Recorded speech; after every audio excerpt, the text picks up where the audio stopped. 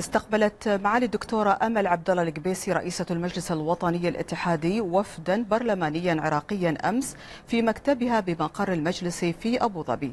وتسلمت معاليها رسالة خطية من معالي الدكتور سليم الجبوري رئيس مجلس النواب العراقي تضمنت التهنئة بمناسبة انتخابها لرئاسة المجلس الوطني الاتحادي ودعوة معاليها لزيارة العراق لبحث سبل تعزيز علاقات التعاون.